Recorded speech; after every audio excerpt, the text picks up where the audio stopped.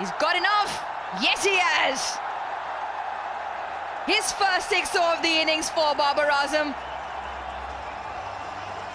The partnership now, well, it's a good one.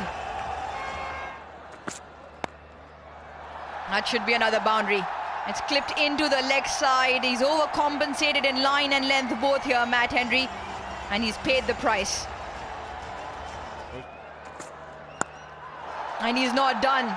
He's not done tonight. The crowd has plenty to cheer for because another maximum flies off the bat of Babar Azam.